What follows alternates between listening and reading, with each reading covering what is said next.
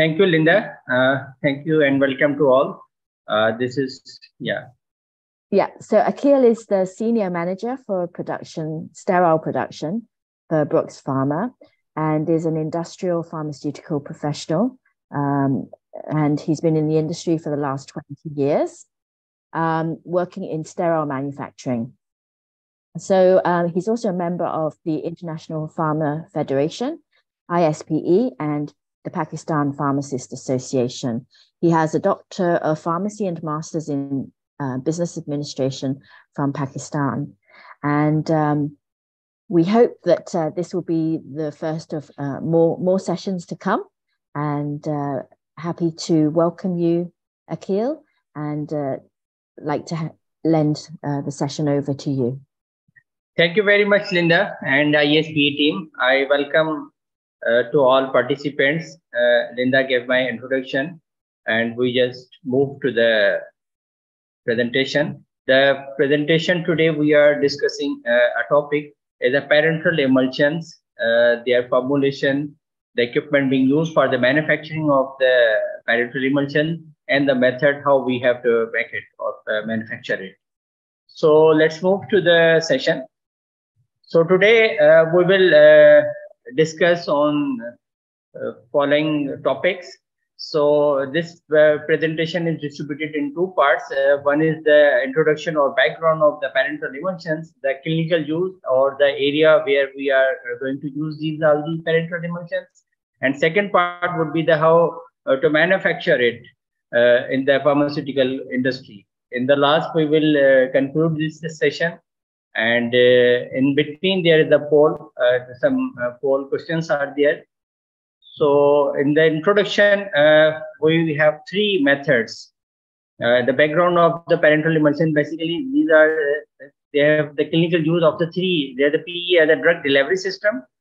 It can carry some any nutrition apis and another is the tpn and third is the sustained release or droplets uh, the formulation, as far as the formulation is concerned, uh, the formulation, the equipment, and the methodology. So let's move to the introduction. So as far as the introduction or the background of the parenteral emulsions are concerned, initially parenteral emulsions were developed to serve as an intravenous source for both calories and essential fatty acids. Later, it involved as a delivery system for the lipophilic substances. These lipophilic substances now we can uh, uh, mix in the uh, emulsion and we can deliver it to the body. And second use is a source of energy. Third is the lipid-based drug delivery system.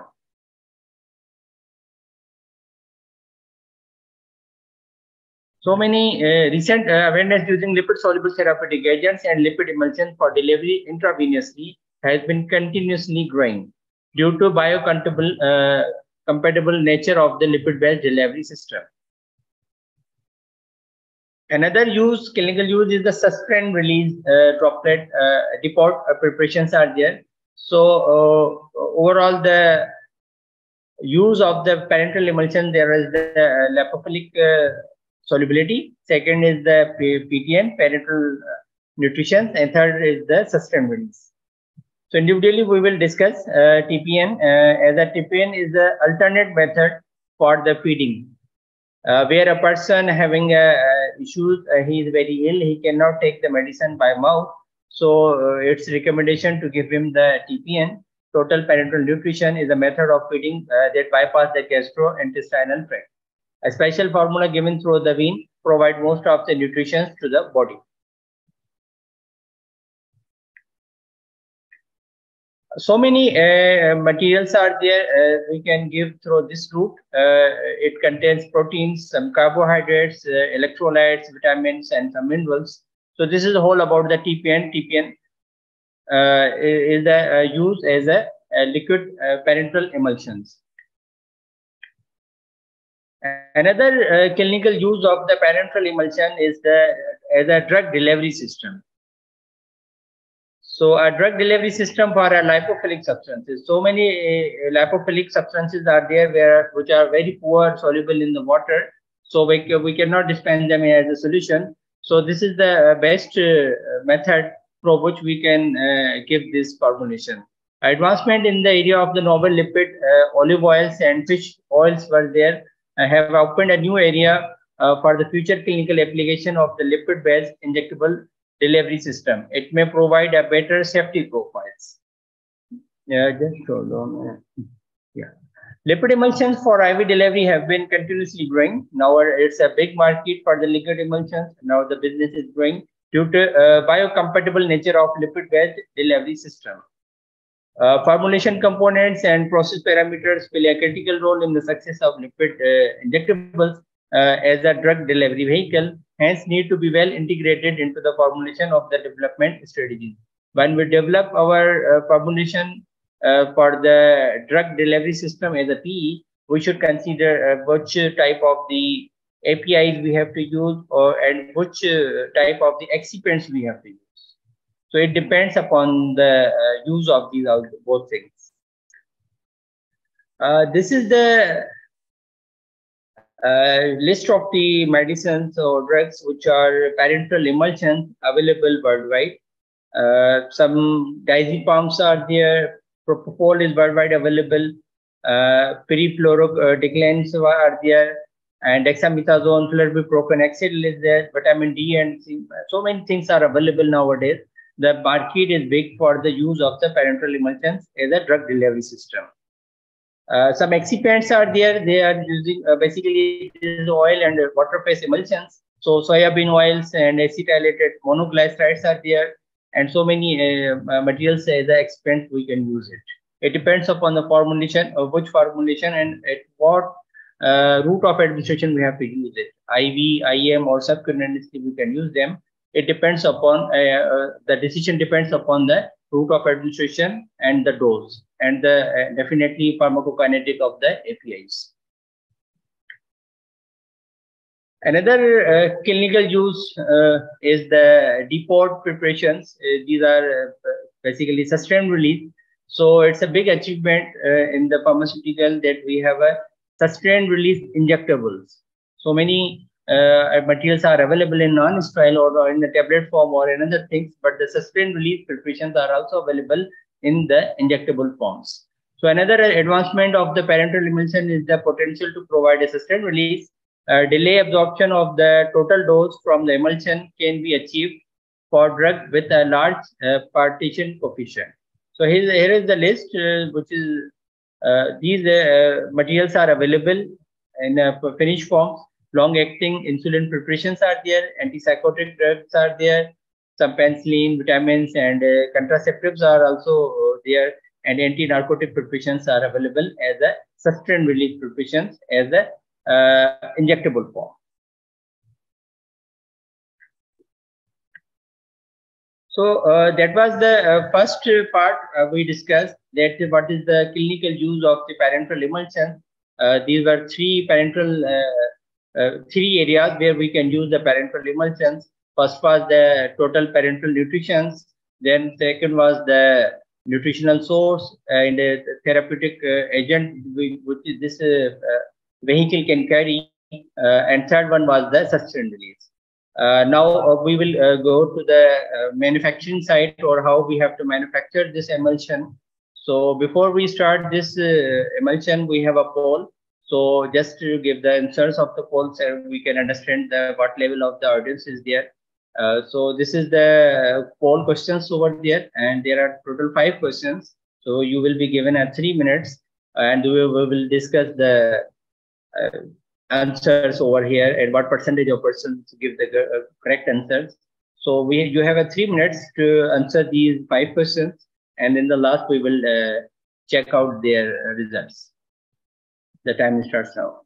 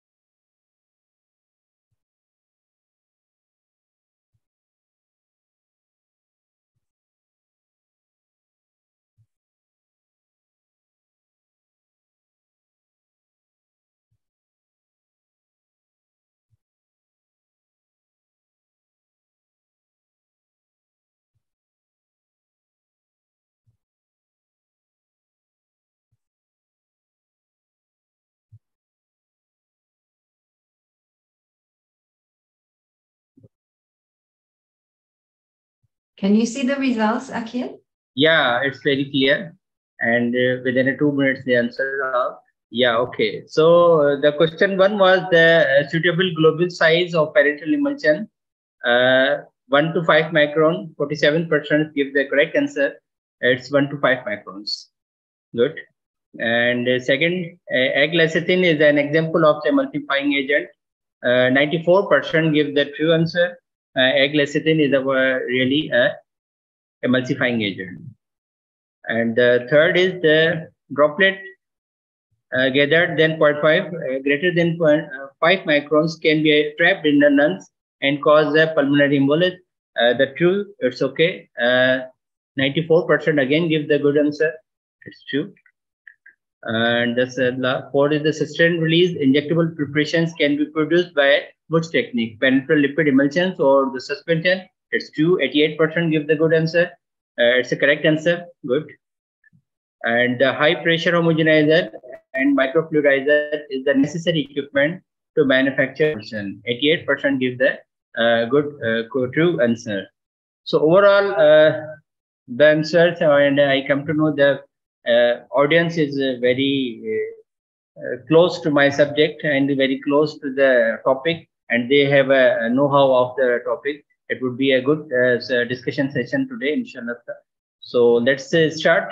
It's a good so emulsions, uh, we start now the how to, what are the emulsions uh, uh, and uh, in the context of the pharmaceuticals, what are the emulsions, uh, how we have to manufacture it, which type of the formulation is required, what excipients or uh, their vehicles are being used over there, what percentage of the vehicles we have to use, and, and what equipment we have to use, and in the last, the methodology, what would be the order of reaction.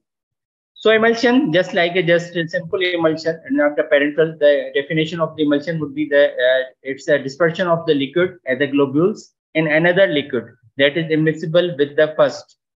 Out of two participating liquid in the dispersion system, one is the water and the other is the oil. It's a simple. There the water uh, molecules are there and the oil droplets are there. We have to mix them.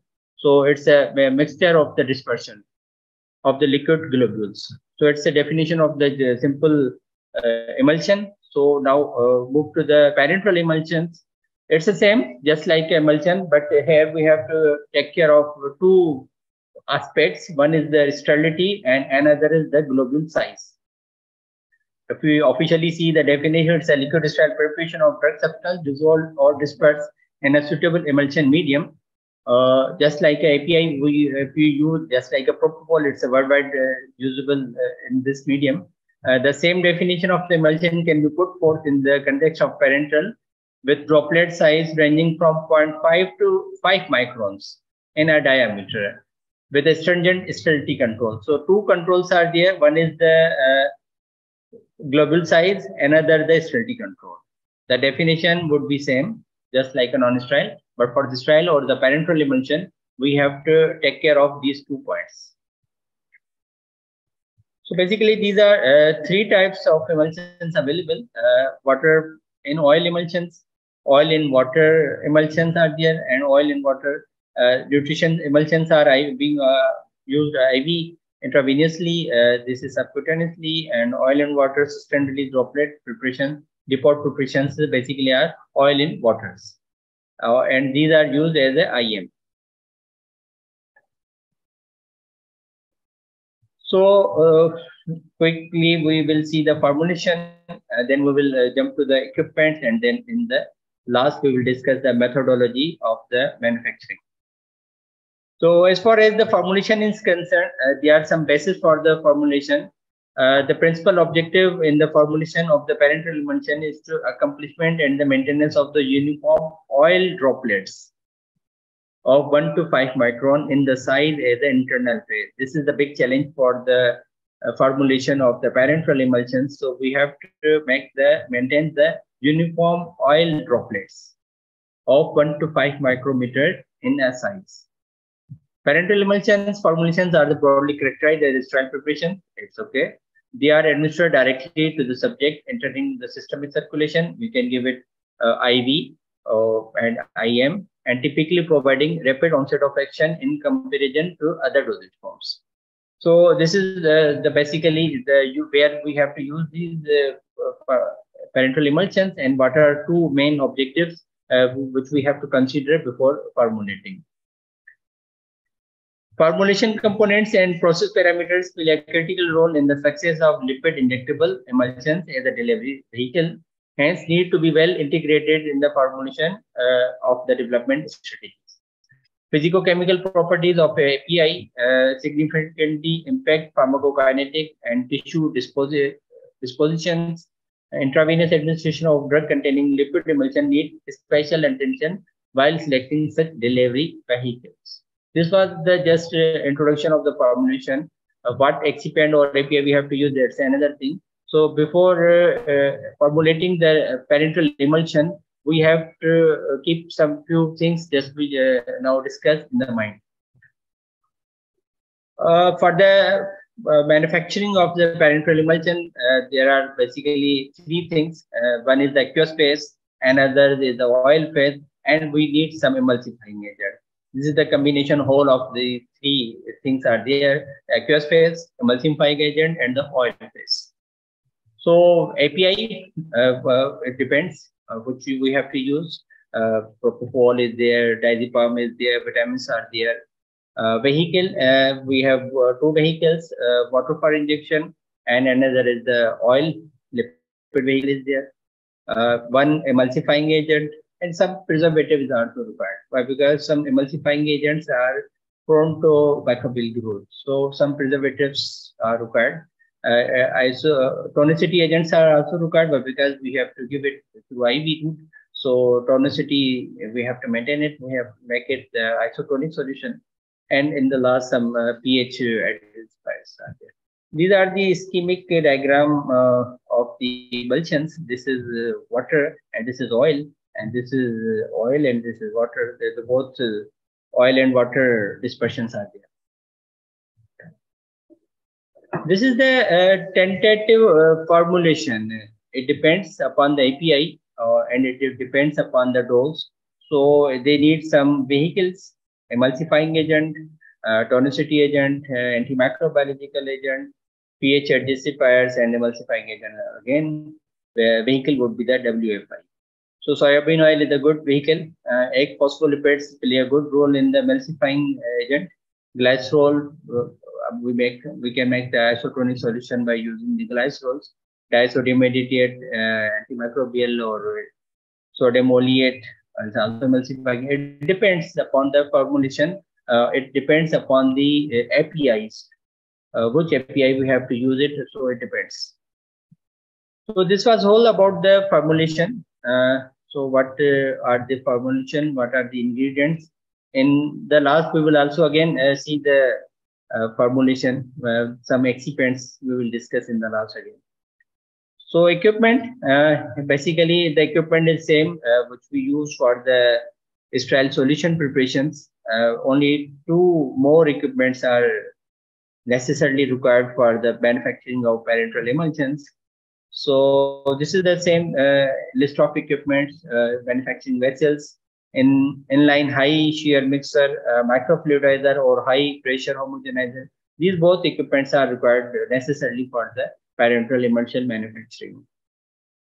Some suitable filtration system, uh, continuous loop in filling the vessel, uh, filling machine, a suitable size of filling machine, and the autoclave for the terminal sterilization. In some formulations, we need the terminal sterilization. Mostly P's are the terminal sterilized products. So this is the diagram of uh, one of the high speed, uh, high shear mixers. Uh, the use that can, can pump, disperse, homogenize, and emulsify product with one and the same equipment. So this is uh, the oil and water globules are there. And now we have to reduce their globule size and we have to shear them and uh, mix them. So this is basically a diagrammatic uh, picture of the equipment. These are the water globules uh, and the oil globules. Now they will be chopping. And again, the uh, approximate 100 micron uh, output would be there. The basic uh, use of these type of equipment is to produce a fine emulsion, coarse emulsion, sorry. So another equipment uh, is required. Uh, some person use microfluidizers or high pressure homogenizers uh, can also be used. Uh, is a general term used as describe describe the piece of equipment that forces the stream of liquid sample through a system that applies several forces to homogenize the sample that is to reduce the particle size of its component. So basically, uh, this is the equipment. This is a high speed pressure homogenizer. The coarse emulsion come inside and they choke them. They have some pistons and some, some mechanical technical uh, mechanisms are there. And this uh, reduce the uh, globule size. So this is in and this is out. Uh, they do the basic they use uh, to produce a, a, good mix and good emulsion and have a, a reduced globule size. The both equipments are necessarily this one inline shear mixer and that one are uh, very necessary for the manufacturing of parenteral emulsions. In the last, we will discuss a little bit methodology of the parenteral emulsions. So we have a procedure. Uh, this is the aseptic uh, preparation, sterile preparation. So aseptic uh, tactic must always be maintained during the handling. The use of nitrogen must be there because uh, there are chances of microbiological growth in the bulb. So antioxidant uh, and the nitrogen should be there. And especially in case where the excipient and drug are sensitive to the oxidation. This is again one, but generally we have to uh, make the uh, manufacturing in the nitrogen atmosphere, and especially for those products which are sensitive to the oxidation also. Uh, this is the same uh, manufacturing. Uh, the oil phase and the water phase are the manufactured separately, uh, filtered with 0.45 micron filter. Both phases are mixed using high shear mixer to achieve a coarse emulsion Again, this go for the microfluidization to get the fine uh, emulsion. And in the last, we will filter and filling followed by the terminal sterilization. And mostly formulation, we go for the terminal sterilization. So here is the processing steps. This is same uh, for being same used for the uh, solution preparation, cleaning of the container, dispensing of material, preparation of bulk, uh, their filtration testing, uh, filling of the bulk into the final container and sealing of container, optical inspection and labeling this one. Workflow would be the aqueous phase. We have to manufacture aqueous phase, uh, then oil phase, mixing of both phases, and again uh, mixing or microfluidization of uh, both phases, and the last filtration and filling. This is the general uh, process workflow. So uh, some uh, components we have to check over here, uh, lipid, oil phase, emulsifiers, aqueous phases, and, and oxidants. So soybean oil is there, sunflower oil, sesame oil, castor oil, fractionated coconut oil is there, uh, olive oil is also, fish oil is there. So, so many uh, lipid oily faces are available, uh, which are very feasible with your formulation can be used. And the emulsifiers, egg lecithin is good. PEG is also there, and more batches are also available. Uh, for aqueous phase, WFI would be there, and for uh, tonicity adjustment, uh, glycerol, glycine, sorbitol, oh, and xylitol. So many items are available. We can use it. For pH, sodium hydroxide, approximate. The, these all emulsions have a eight around eight 7.5 and 8.5 pH. Antioxidants we may use as ascorbic acid or something else we can use these oligos. Uh, this is the ischemic. Uh, uh, so this is the raw material dispensed over there. Uh, this is the oil phase. Then it will go for, uh, we separately we will manufacture the aqueous phase and separately we will manufacture the oil phase then the both phases will be mixed in inline mixers. This is the inline mixer. Then we will get the coarse emulsion. Uh, the approximate uh, droplet size would be 100 micron over here. Then it will again go for the microfluidizers. here we have to uh, make the pore, pore size of approximate 2 microns. And then there is the final filtration, the filling, and the terminal sterilization. Uh, another schematic uh, diagram is there.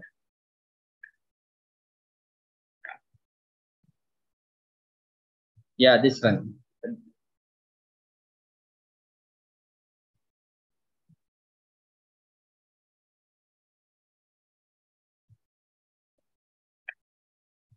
Uh, yeah, this is the complete uh, flow diagram of the emulsion manufacturing. Uh, just this is the tank for the collection of water for injection. And this is the water phase manufacturing or gas phase manufacturing. This is the filtration system over here. We have to separately filter this portion, 0.45. And then again, it will go to the bulk manufacturing area this vessel is also jacketed vessel and mixing tank for oil phase. This is for the API and the soybean oil and something else purpose. Separately, we have to manufacture it. Then it, again, it will go for the 0.45 uh, micron filtration. The both phases will be uh, combined in this vessel, and this vessel is connected with inline homogenizer. This is the inline homogenizer to produce a coarse emulsion. So uh, we have to uh, give two cycles over here for the manufacturing of coarse emulsion. So this will uh, go here and here. Again, we have to give them, uh, pass them the uh, high pressure homogenizer or microfluidizer. So again, this cycle will go again this type. Approximate uh, 900 bar pressure is required over here. 900 bar pressure is required over here. So the number of cycles, it depends uh, which type of emulsion you are going to manufacture over here. So these both uh, equipments are necessarily for the manufacturing of the emulsion. Then again, this uh, finalized emulsion will be filtered with 0.8 micron filter. And this will go for the storage tank for the filling. And in the filling, there is another technical aspect that as the emulsion may sediment or agglomeration may occur in the droplet size, so there should be a loop system over here. We make it with the peristaltic pump. So just we have to keep the solution in the running form. We have to keep the emulsion in the running form. So this is the filling pumps. The machine will get the filling pump. This is the filling machine. So we have to keep, uh, we, we may use here uh, some stir also, but stir may uh, damage the globules or it may reduce the or increase the globule size so this method is a suitable one to make it a loop system and have a peristaltic pump over there and keep the uh, keep going the, this loop system all the time till the filling end. Even for the storage purpose also, you have to keep this loop on. So I think this is the clear picture I can communicate with you that what is the manufacturing flow chart or schematic flow chart for the manufacturing of the parenteral uh, emulsions.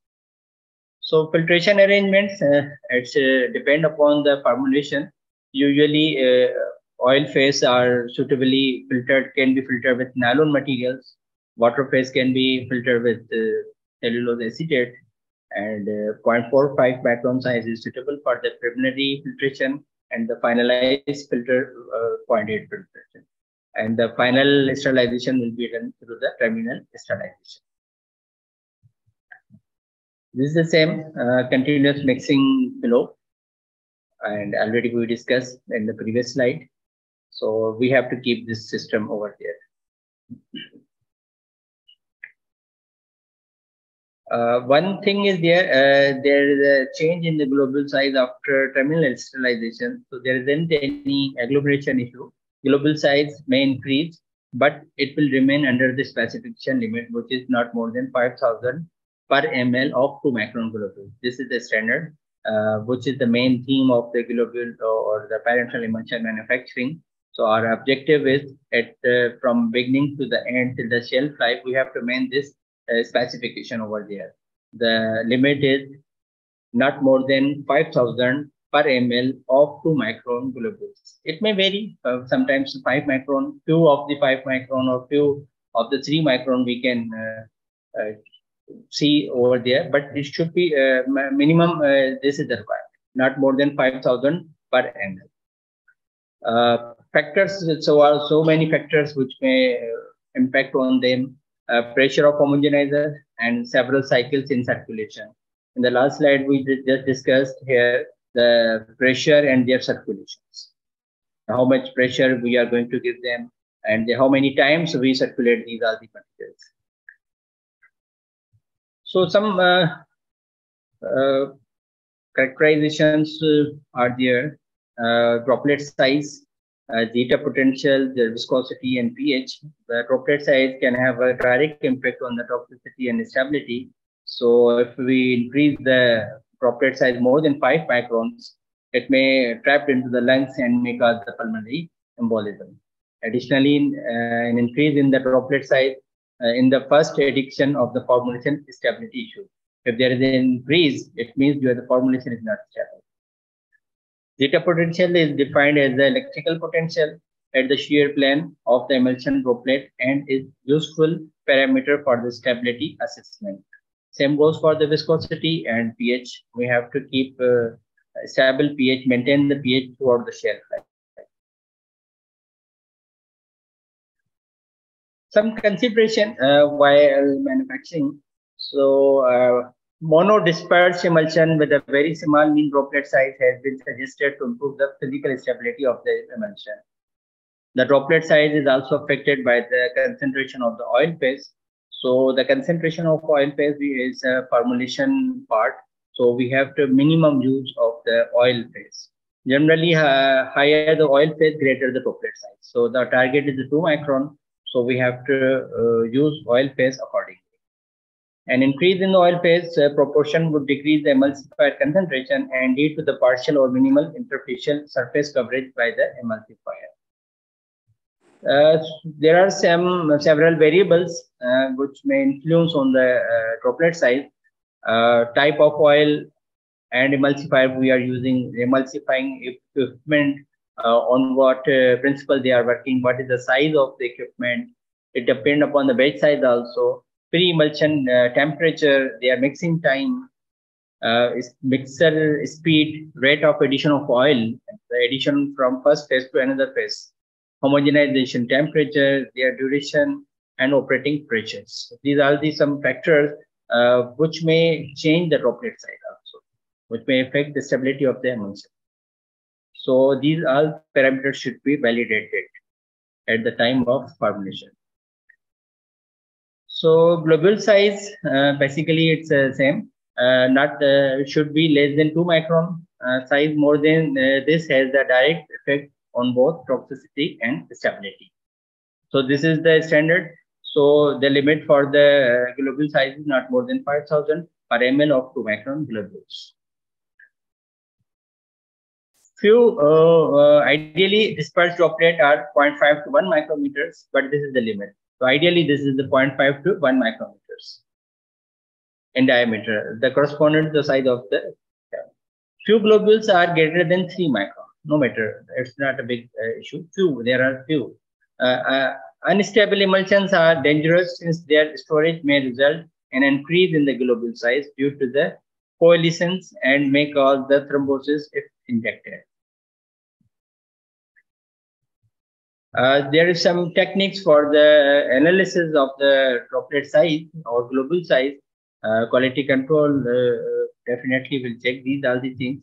So there are for the determination of the mean droplet size of uh, injectable emulsion, either of two common light scattering technique may be employed. One is the dynamic light scattering, uh, known as also photon correlation spectrophotometry spectroscopy and another based on the Mie scattering theory uh, known as the classical light scattering. Uh, I just add uh, one slide over here uh, for the suspension. So? Because some persons uh, uh, have some ambiguities while manufacturing the suspension and emulsion. So this is only one slide for that. The parenteral suspensions are dispersed, heterogeneous system containing insoluble drug particles and are uh, dosage forms containing low solubility drugs.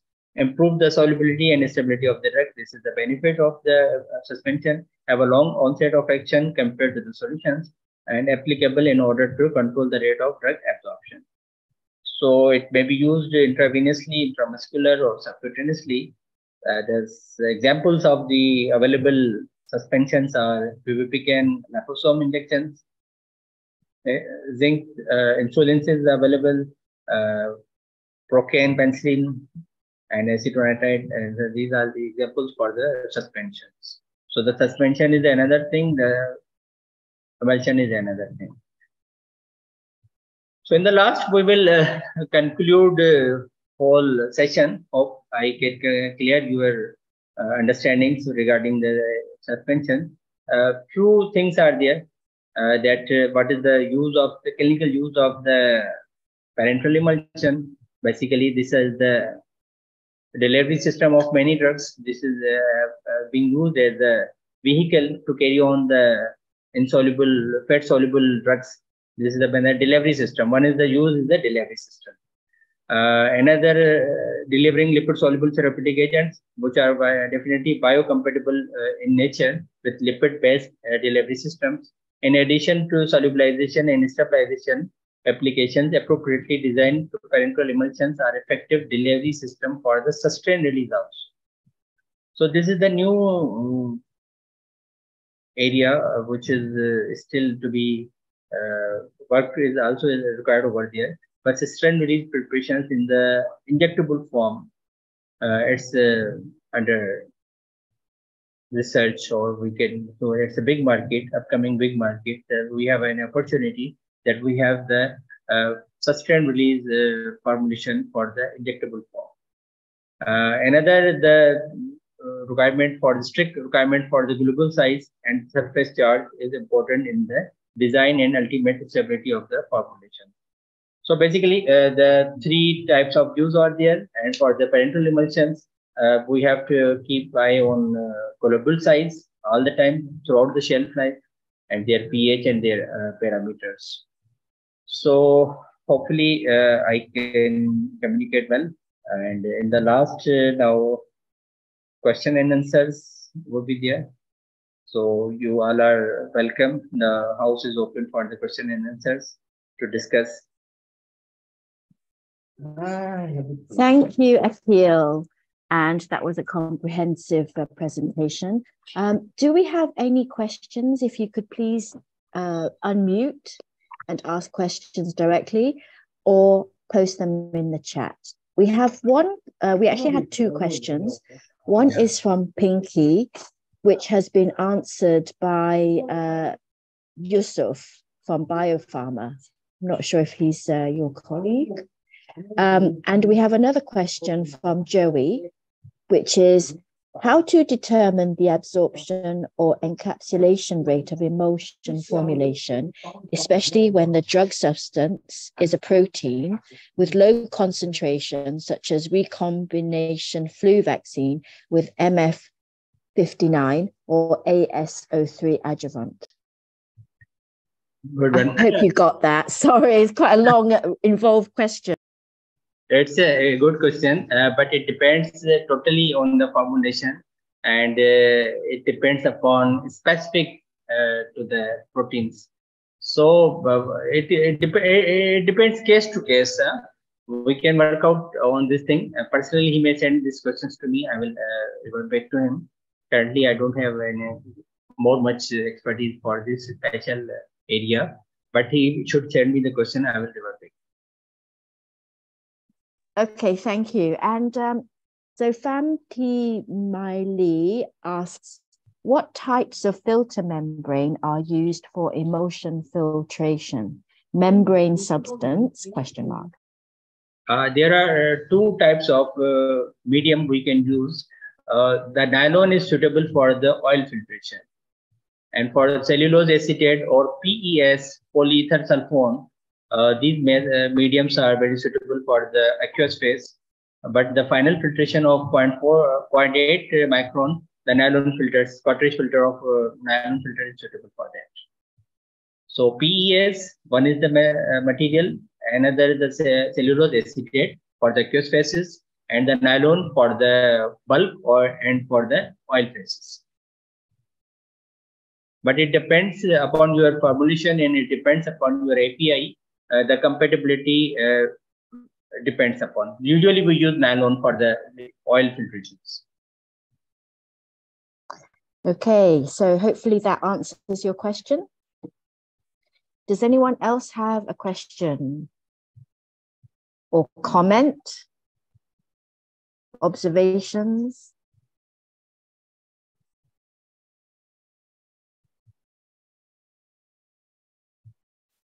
This is a good opportunity to ask uh, for Aqeel's uh, past experience as well.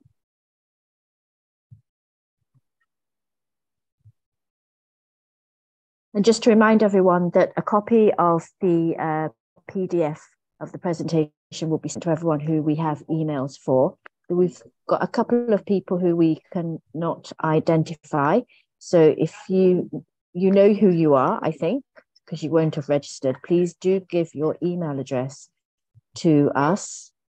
Uh, just put it in the chat so that we can actually follow up with you.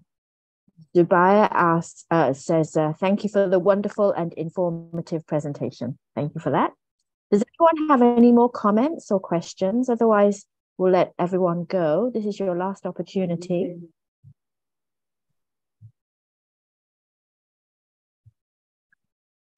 Priscilla, we have your uh, email address already. Thank you. Okay, does anyone have any more questions? Otherwise, we will be letting Aqeel get on with the rest of his day. What time is it over there now for you? It's 3 past 15 in Karachi. Still afternoon for you. Okay. And it's early evening for us. Yeah. okay. Right. Well, um, if there are no other questions, want to thank everybody for their attention this afternoon, evening. Um, Joey's just asked to uh, put another question in. Thanks, Joey. Because the lipid components can be degraded during storage, how to set the acceptance criteria of these degradations or oxidation? It's uh, we have two things I will discuss over here. One is the storage condition, and uh, first one is the formulation. So formulation should be stable, and their storage condition uh, should be appropriately as required.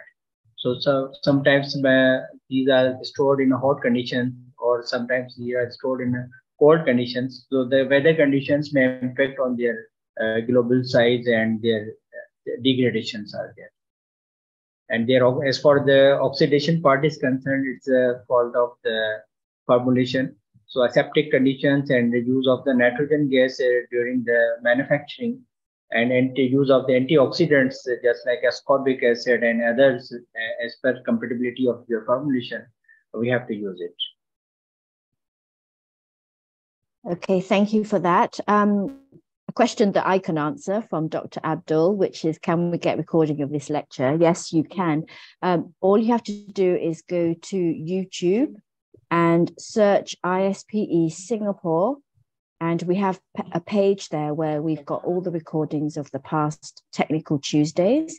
And this will be posted up uh, in a few days' time once we're able to, to um, get everything sorted and then we can put that up there. So so if anyone of you has missed the presentation or wants to recommend it to your colleagues, please do direct them to our YouTube page. Okay, question from Mohammed Waji. Uh, for aqueous-based vaccines, is it recommended to use high shear mixers? No, it's not recommended uh, because for aqueous-based vaccines, these are solutions. Uh, uh there are suspensions or something else. So there isn't any need to use a high shear mixers. Inline mixers are uh, sufficient for that purpose. Okay, thank you for that. Okay, any more questions?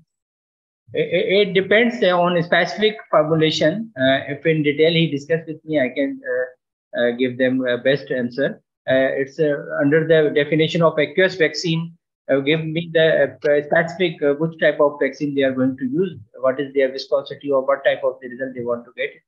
So we will uh, personally may discuss with you. That's very kind of you, Aqeel. Thank you.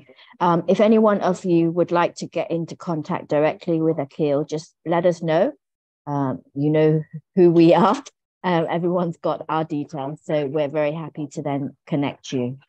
So unless we have any more last final questions, I'd like to thank Aqeel for his time this afternoon and as always for sharing your expertise with us. And we'd like to thank you, the audience, for joining us this afternoon and uh, wishing everyone who will be celebrating the Chinese Lunar New Year uh, a very blessed and happy New Year. And uh, I think quite a lot of uh, holidays coming up uh, to celebrate in Asia. Um, and otherwise, we look forward to seeing everyone again. Um, so thank you all. Thank you, Aqeel. And uh, we'll be signing off for this evening. On the behalf of uh, ISP and Brookes Pharma, I also thanks to all participants and uh, especially Linda and Christina for having a so long, uh, longer relationship with me and so longer time for preparing this webinar over here. Thank you very much for all and I'm open. Uh, I can uh, give the answers. Uh, my email address is there. anytime, and you can ask the questions. Fabulous. Thank you very much, Aqeel. And it's always a pleasure to host you. Take care, everybody. Have a good evening. And to you, Aqeel, have a good day. Take care. Thank all. Bye-bye. Bye.